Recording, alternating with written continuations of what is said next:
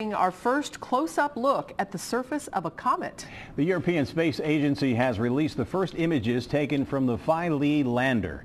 Local 12's Josh Knight is here to share those pictures with us. Josh? That's right, guys. And it's still incredible to think that a spacecraft was remotely landed on a comet more than 300 million miles away. That's more than three times the distance to the sun. But not everything went exactly to plan, which you might expect after 10 years of travel time to catch up with Comet 67P.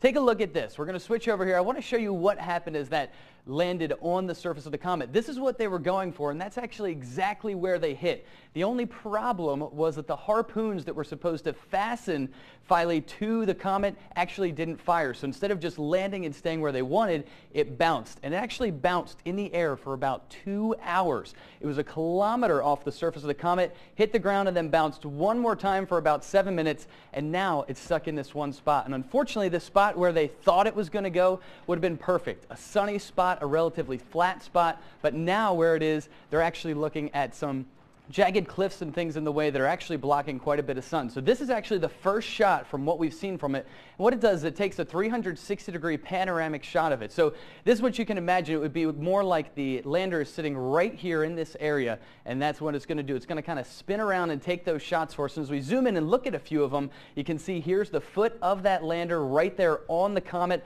So that actually a comet more than 300 million miles away from us here on Earth and we're getting those pictures back. Here's one of the downsides though sitting in a shadow. They were counting on this getting about six to seven hours of sunlight each day, but it's probably only going to get about an hour and a half. So with that, likely the batteries won't remain charged.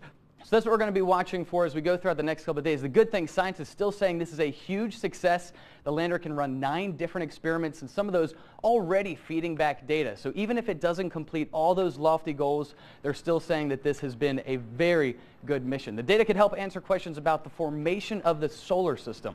Rob? Josh, thanks very much. The Rosetta mission will continue as the comet orbits around the sun. Scientists hope to gather more important information as it heats up and gets more active.